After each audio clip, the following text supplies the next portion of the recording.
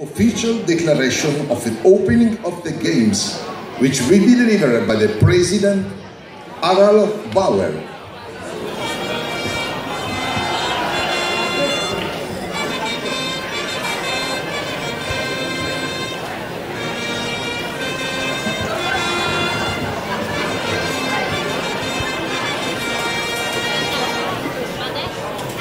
Athletes of the world, I invite you all to respect the principles of fair play and our core CSIT values.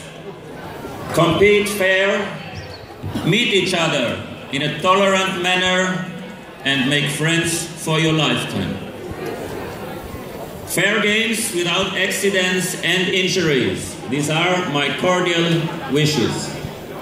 I declare the fourth CSIT World Sport Games in Lignano Sabbiadoro officially opened.